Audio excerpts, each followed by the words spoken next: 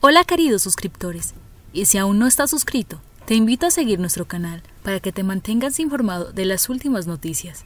Comité del Paro suspende diálogos con el Gobierno Nacional. El Comité del Paro suspendió unilateralmente los diálogos con el Gobierno Nacional. Así se conoció en un comunicado. Al parecer, un borrador del 24 de mayo fue el motivo de la discordia. El Gobierno reitera su posición para continuar con el diálogo. Este es el comunicado enviado por el Gobierno Nacional respecto a la suspensión de los diálogos con el Comité. Damos importancia al trabajo que se ha venido alentando con el Comité Nacional del Paro. Aunado a ello, Reiteramos que en todo momento el Gobierno Nacional ve en asegurar las garantías de la protesta pacífica una gran responsabilidad. Así hemos venido actuando y lo seguiremos haciendo. Una muestra más de esto son los anuncios y decisiones que adoptó el presidente Duque hoy para la transformación integral de la policía, el fortalecimiento de la política de derechos humanos y elevar los estándares en el servicio al ciudadano. Desde que el presidente se reunió con el comité, hemos estado en absoluta disposición a oírlos y sobre todo para trabajar respecto de los puntos que nos fueron planteados en el pliego de emergencia para que se llegue a acuerdos. Una muestra de ello es que ya tenemos una propuesta de metodología para ese trabajo. En esa metodología se acogieron los tres aspectos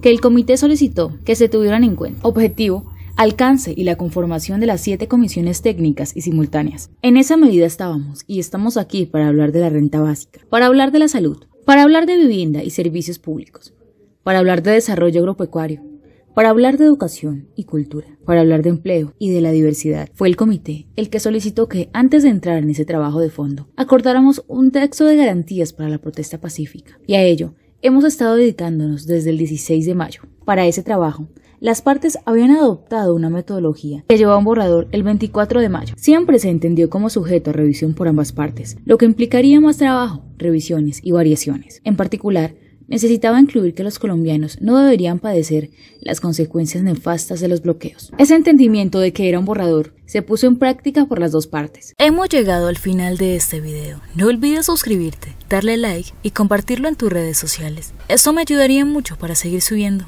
este tipo de contenido.